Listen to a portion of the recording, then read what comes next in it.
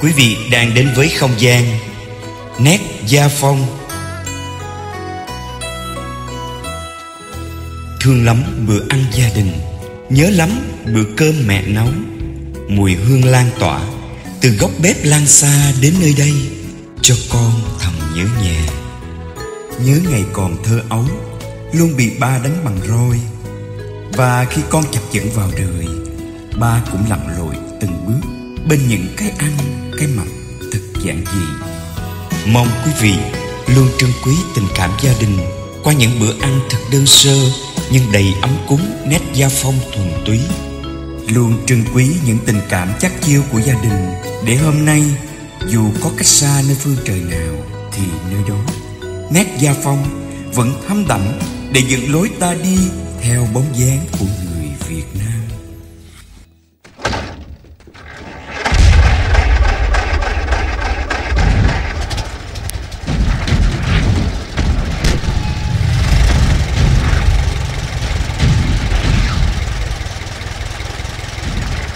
Bởi vì đâu mà đất nước tôi lại chìm đắm trong tan thương bởi biến cố 30 tháng 4 năm 1975 Để rồi tiếng khóc than, đánh đồng cùng những tiếng bước chân di tản của những người con dân Việt Đang tìm một góc trời tự do.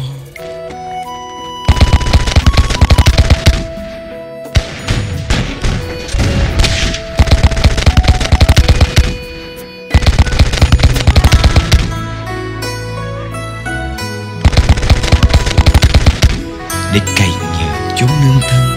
Qua bao nhiêu năm rồi, nay lại còn đó. Những ký ức của dòng lịch sử từ trong quá khứ cuộn về. Theo dòng thời gian hiện tại, một lần nữa, tuổi trẻ yêu nước mến mời quý vị đi qua nét gia phong ngày hôm nay cùng với tác giả hoàng thị cỏ mây người đàn bà trên tỉnh lộ 7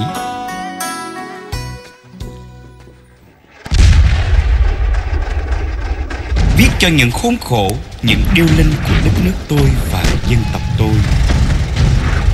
Tôi gấp quyển sách đang đọc dở dang, đưa tay chùi vội những giọt nước mắt vừa lăn dài xuống má.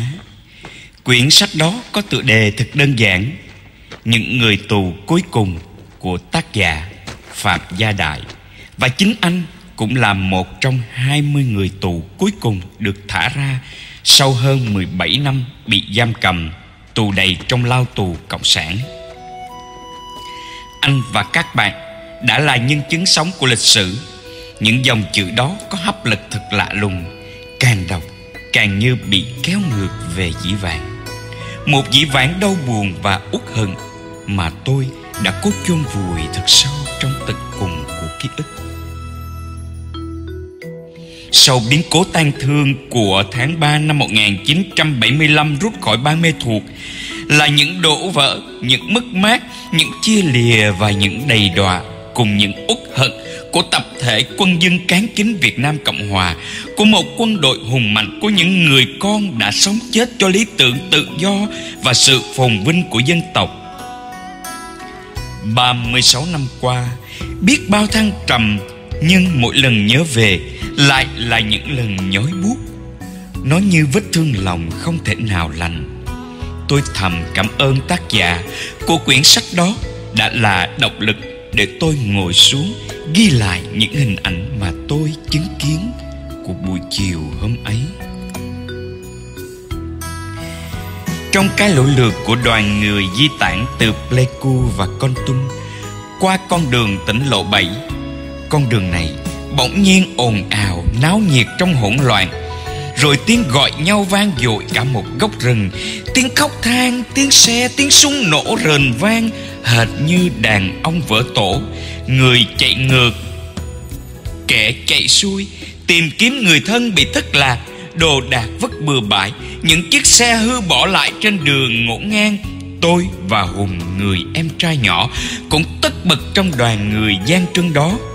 Bây giờ chỉ còn hai chị em, ba mẹ và các em còn kẹt lại ở buôn ma thuột mấy bữa nay, tôi đã chạy đôn chạy đáo để dò la tin tức gia đình, nhưng không biết hỏi ai bây giờ. Bởi chẳng ai biết rõ điều gì đã xảy ra Trong tâm trạng rối bời đó.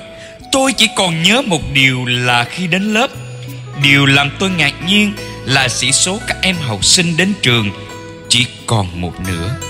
Tôi đang tìm câu trả lời Thì có một em học sinh đến gần bên tôi nhỏ nhẹ lên tiếng hỏi.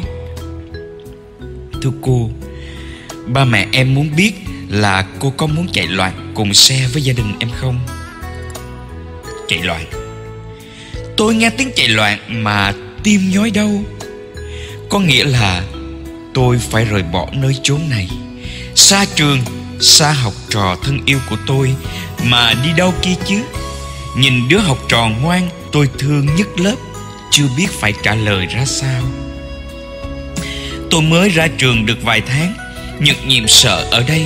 Ngôi trường nằm trên ngọn đồi thoai thoải Trông thật là dễ thương.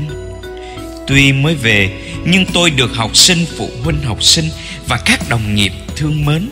Chắc tại Cái nhỏ nhoi Cái yếu đuối của tôi Trong làng sương mù Và cái xe lạnh của Pleiku chăng? Tôi nghĩ thế. Thưa cô Cô quyết định như thế nào ạ? À? Tiếng nhỏ nhẹ của người học trò lại cất lên Cắt ngang dòng suy tư của tôi. Tôi lặng lẽ gật đầu. Thế là mọi chuyện cứ tuần tự đi qua Như đã được sắp xếp từ bao giờ. Để giờ này đây tôi cũng có mặt trong đoàn người di tản.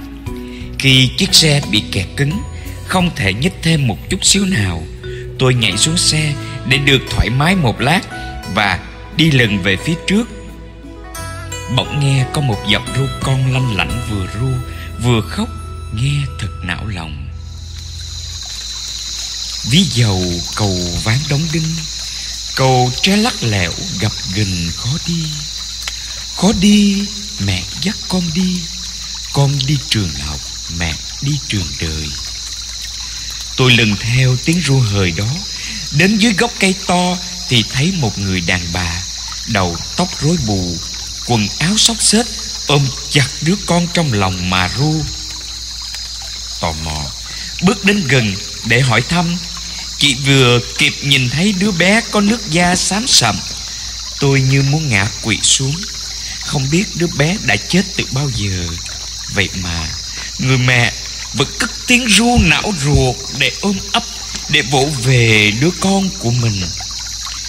Tôi kêu thức thanh Xin giúp chị ấy, Con chị ấy đã chết rồi.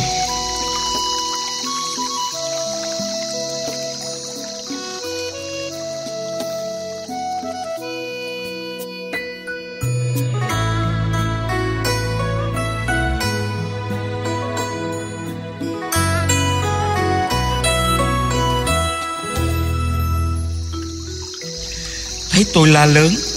Mấy người đang ở gần đó Bèn chạy lại, Nhưng không thể nào lấy được đứa bé ra khỏi vòng tay.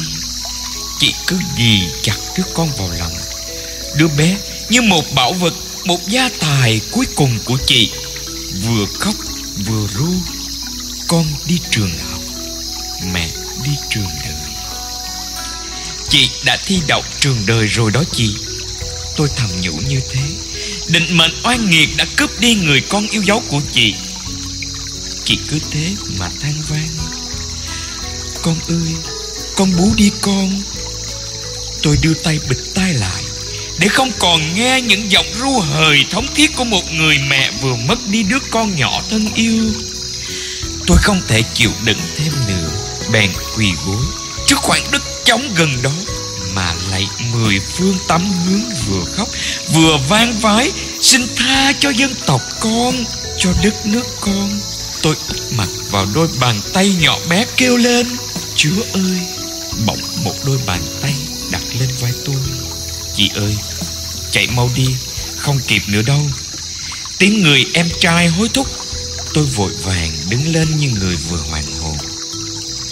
Tôi chạy như bay để lại sau người đàn bà đang ôm ghì sát đứa con đã chết với tiếng ru hời bi thảm. 36 năm trôi qua, Chẳng biết Người đàn bà với tiếng hát ru hời ấy về đâu